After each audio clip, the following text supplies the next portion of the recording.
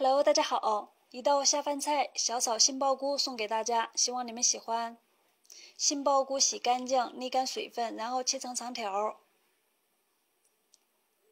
然后准备葱、姜、蒜、小米辣，还有小绿辣椒。锅中的油温烧到七成热的时候，放入杏鲍菇，炸到金黄色，捞出。然后把辣椒也过一下油，放进去炸一下就出来。全部过油之后沥油备用，然后锅中留一点点底油，放入葱姜蒜爆香，放两小勺的蚝油炒一下，然后放入杏鲍菇和辣椒翻炒，放两小勺的蒸鱼豉油翻炒，然后放点盐、味精、白糖，翻炒均匀，出锅就可以了。这道菜非常下饭，喜欢的朋友可以收藏保留一下做法。非常感谢大家的支持和关注，谢谢大家，谢谢。